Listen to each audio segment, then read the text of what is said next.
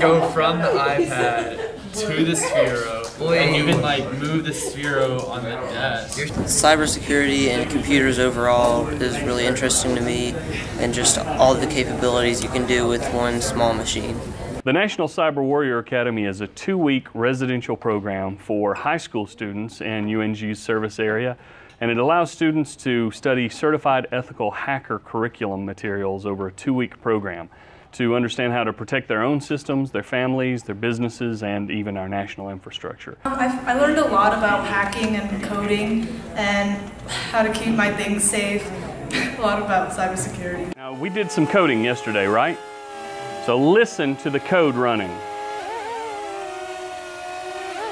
I learned how to hack everything, and as a career, I want to work in the NSA in their cybersecurity department, or I'll work for the FBI in their cyber crimes department.